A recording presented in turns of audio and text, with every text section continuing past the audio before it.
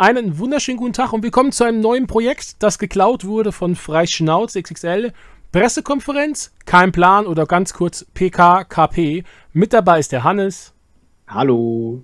Der Phantom. Moin. Und der Random. Hi. So, wir werden gleich den Zufallsgenerator laufen lassen. Einer von uns wird der Interviewte sein, die anderen drei sind Pressevertreter. Die werden dann den Interviewten zu einer Pressekonferenz einladen, wo er eben sein Thema präsentiert. Der Kniff dahinter ist, dass der Interviewte nicht weiß, was das Pressekonferenzthema eigentlich ist, weswegen er sie eingerufen hat.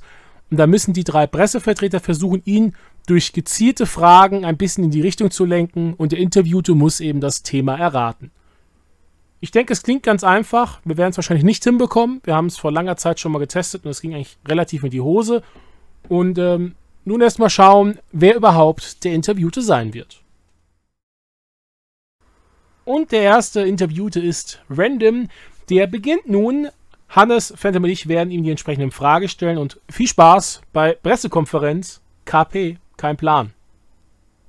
Ja, wunderschön, wunderschönen guten Tag. Ich freue mich, dass das jetzt geklappt hat. Für ein Thema, was mir wirklich am Herzen liegt, schon seit langer Zeit. Und ich freue mich auf eure Fragen. Ja, also, ähm, wie war dieses Erlebnis emotional für Sie? Prägend, auf jeden Fall. Es hat mich mein restliches Leben lang geprägt. War das denn Ihr Plan, das zu erreichen, oder war das reines Zufallsprodukt? Ah, an sich, so dass ich grob die Richtung schon im Kopf hatte, klar, eigentlich sogar schon seit der Kindheit, aber dass es dann so genau so passiert ist, das war dann, dann doch eher spontan. Wie ist das Gefühl, wenn man so einen auch großen Durchbruch auf einmal bekommt? Wie fühlen Sie sich dabei? Sehr euphorisch vor allem. Also, das ist ja, das passiert ja normalerweise nicht von heute auf morgen und dann ist es bei mir doch von eben heute auf morgen passiert meine, es ist so ein Durchbruch für die Menschheit. Also, das ist was wirklich Einzigartiges. Äh, sie müssen nicht so bescheiden sein. Äh, ja, Sie sind wirklich der Erste global, der dies erreicht hat, dem dies ja. geschehen, geschehen ist. Aber es gibt ja viele, die zum ersten Mal irgendwas erreichen, mein Gott. für mich ist es nicht so, nicht so viel sagen wie für Sie wahrscheinlich. Ähm, wie gehen Sie denn mit den Menschen um, die behaupten, dass sie schon früher diesen Erfolg verbuchen konnten? Ja, ich glaube nicht, dass das schon, schon mal passiert ist, nee. Ich schreibe ja für das äh, Galaxy und Science Magazin. Ich frage mich besonders für meine Leser, war das das, was sie wollten? Das habe ich ja vorhin schon eigentlich beantwortet. Also, ja, ja. Die, die, Frage ist, ist spezifischer. Also, war das ihr Lebenstraum oder Zufall? wie gesagt, das habe ich vorhin halt wirklich schon beantwortet. Ich habe ja gesagt, ich, so grob, also mir war klar, dass ich sowas in die Richtung unbedingt machen will, aber dass es genau so passiert ist, war dann halt, wie gesagt, ganz spontan. Nun, wie genau äh, ver äh, verlief denn dieses Ereignis? War es nur ein Gespräch oder kam es zu einem äh, engeren Kontakt? Oh, also es wurde schon davor sehr lange im Gespräch gehalten. Und dann kam es auch zu einem engeren Kontakt, doch. Haben Sie schon einen Namen für Ihre Entdeckung? Ja, ich nenne es Weltraum 2. Wurden denn Ihre Erwartungen übertroffen oder wurden sie wenigstens irgendwie ähm, bestätigt? Bestätigt auf jeden Fall. Also alle die Erwartungen, die man schon seit vielen Jahren in der Menschheit und von den Menschen hat, über eben ihre Entdeckung, dass die halt wirklich so wahr sind. Alle, bis aufs äußerlichste Detail. Ah ja, was soll ich da groß zu sagen? Ich meine, es war schon länger ein großes Thema und ich bin mir sicher, viele haben da mehr von erwartet, aber in meinen Augen wurde es genauso erreicht, wie es eben geplant war. Gerade religiöse Fanatiker behaupten ja, dass sie ein absoluter Lügner wären und das, was sie entdeckt haben, gar nicht wahr sein kann. Was sagen Sie dazu? Das ist Quatsch. Also denken Sie, die ganzen religiösen Fanatiker, die behaupten, dass sie die Wahrheit sagen, dass, dass sie so sagen, das, wie kann man das am besten fragen? Also, haben Sie konkrete Beweise, dass das, was Sie sagen, stimmt? Ja, ich meine, ich hatte eine Eingebung, und ich meine, Äh, es, kann man bei nicht der erste eine Eingebung haben. Hier geht es immer noch um die Wissenschaft. Ich möchte hier kann nichts von Eingebungen. Haben Sie klare Beweise? Nun ja. Bestimmt. Aber die muss ich jetzt ja nicht sofort zeigen, oder? Ja, das wird schon dann, das werden dann schon die Wissenschaftler eben hinterfragen. Aber die Frage ist ja, sind es denn mehrere Rassen oder ist es alles einheitlich? Oh, das sind sehr viele verschiedene Rassen. Wir haben, wie auf der Erde, eine große Vielfalt, haben wir dort eben auch ganz, ganz viele verschiedene Wesen. Und herrschen, leben die alle in Frieden oder sind die im Konflikt zueinander? Also ich weiß ja nicht, ob sie es mitbekommen haben, aber wir schaffen es nicht mal einer Rasse Frieden zu bewahren. Und ich glaube, da können Sie sich die Antwort denken, wie das auf einem Planeten mit vielen intelligenten Rassen ist. Müssen wir denn befürchten, dass äh, diese Konflikte auch auf uns übertragen werden könnten? Ich Oder gegen uns gerichtet sein könnten? Wir haben den Vorteil, wir sind technologisch weiter als diese, diese Rassen. Das heißt, wenn irgendwas geplant ist, werden wir das mitbekommen. Kommen wir nochmal zum Ursprung dieser Pressekonferenz zurück. Was haben Sie jetzt eigentlich überhaupt geschafft?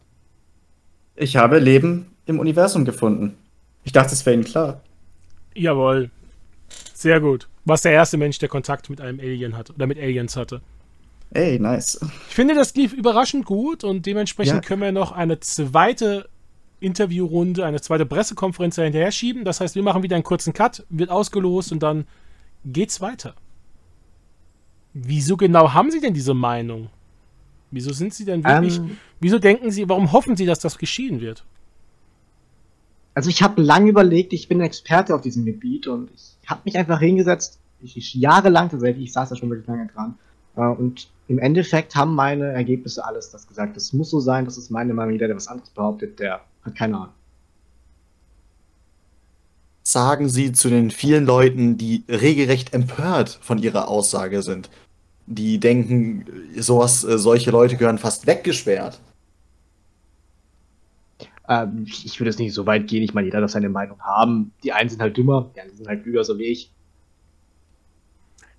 Ja, aber sie werden doch sicherlich sehr viel ähm, Gegenwind gerade von Peter bekommen, oder nicht?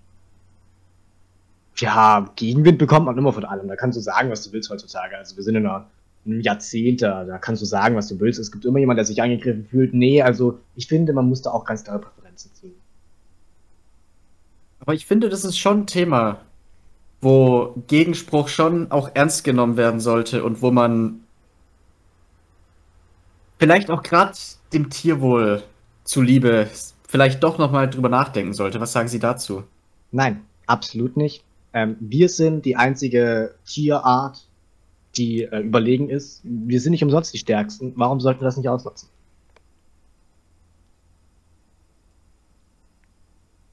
Ist es denn, weil sie schwarz-weiß mögen oder woran liegt das, dass sie diese These äh, verfolgen? Ja, ich, also Farben finde ich gar nicht in Ordnung. Deswegen schwarz-weiß ist da einfach das Beste. Was anderes ist alles für mich Abfall.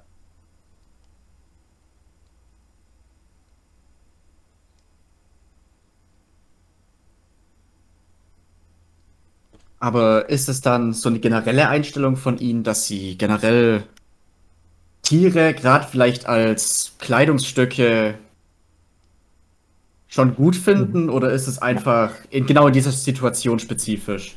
Nein, das ist absolut nicht situationsspezifisch. Ich meine, Tiere sehen hübsch aus und äh, sie zu tragen ist da das Beste, was man machen kann. Äh, sie sind bequem, sie sehen gut aus, äh, sie nützen uns. Äh, ich sehe da keinen Nachteil.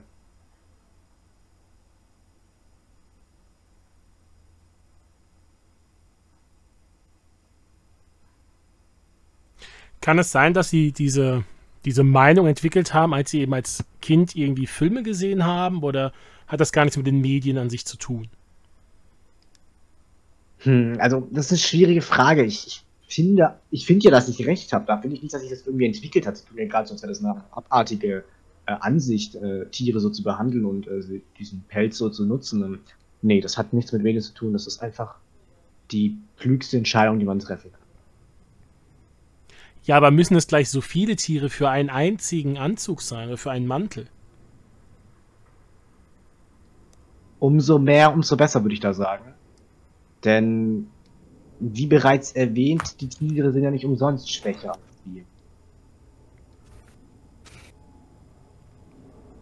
Und ähm, es ist wichtig, Mäntel zu tragen, denn äh, die, die halten warm und besonders durch diese Tiere schützen die einen auch. Aber für so einen Mantel reichen doch auch drei, vier Tiere. Da braucht man doch keine 100 oder mehr.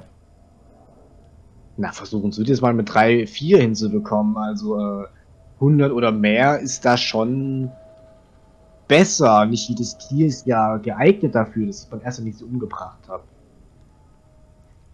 Denn es sind ja ganz kleine Tiere auch. Ähm, die sind flink und schnell und da kann schnell was an der Haut, an dem Pelz kaputt gehen. Ja, aber trotzdem gehören sie ja zu den beliebtesten Haustieren auf der Welt. Also gerade auch in Deutschland gehören sie immer zu den beliebtesten. Naja, also Katzen finde ich jetzt nicht wirklich äh, beliebt. Ja, aber um Katzen geht es ja auch gar nicht. Ja, ich meine, Hunde sind natürlich auch, äh, Hasen sind natürlich ähm, alles nutzlose Tiere. Was, was haben sie denn von einem Hasen? Ja, aber es geht ja auch nicht um Hasen. Es geht ja schon ja, immer noch um, um den, habe ich ja gesagt. Ja, eben. Es geht immer noch um den besten Freund ja. des Menschen. ja, der beste Freund des Menschen, bis er einen verrät. Also, haben Sie Filme geguckt? Ich meine, äh, der beste Freund ist am Schluss immer der, der einen umgebracht hat. Also, da bin ich lieber vorgewappnet. Deswegen mache ich ja auch professionell Mäntel aus Hundehaut. Ach, Sie üben das auch im echten Leben aus. Ich dachte, es wäre nur eine Meinung von Ihnen, die Sie vertreten. Nein, also ich finde, dass jeder Mensch sollte einen Mantel aus Hundehaut haben. Und ich mache das auch im Privaten. Ich verkaufe die. Ich verkaufe gerne diese Mäntel und äh, damit macht man gut Gewinn. Aber mit dieser Aussage haben sie viele, vielen, vielen Fans der, der Serie auf den Fuß getreten. Ja, aber 101 Dalmatiner ist jetzt auch keine gute Serie. Also ich meine, da geht es um Hunde und Hunde sind Verräter. Deswegen habe ich die Meinung, dass äh, die alle sterben sollten. Das ist schon ein bisschen sehr hart ausgedrückt, muss ich jetzt sagen. Sind Sie vielleicht auch wegen des neuen Emma Stones Films jetzt bereit, diese Meinung offen kundzutun, der ja durchaus ja. gute Kritiken erhalten hat? Also, wie bereits schon erwähnt, nur weil da jetzt dieser Film rauskommt, ähm, äh, hat es nichts damit zu tun, dass ich finde, dass, äh, dass Cruella da schon auf alle Fälle recht hat. Dann, wie gesagt, diese Tiere sind, sind böse. Ich denke, das können wir gelten lassen, oder? War nah dran. ganz gut zusammengefasst. Ja. Also Hannes hofft, dass Cruella de Vil die 101 Dalmatiner fängt. Es wurde bei ihm ein bisschen ausufernd, was sein, sein Ziel war. Das lassen wir einfach mal so stehen. Äh, ich hoffe, ihr hattet Spaß, seid beim nächsten Mal dabei, wenn es weitergeht mit äh, Pressekonferenz, kein Plan oder PKKP. Und äh, eure Meinung ist mir wichtig, wenn ihr Ideen habt für mögliche Themen, könnt ihr die mir auch zukommen lassen. Die kann dann natürlich nicht ich dann beantworten, weil ich wüsste ja dann eventuell Themen. Da müssen wir schauen, wie wir das umsetzen können. Ansonsten euch noch einen schönen Tag. Danke fürs Einschalten und auf Wiedersehen. Tschüss. Ciao.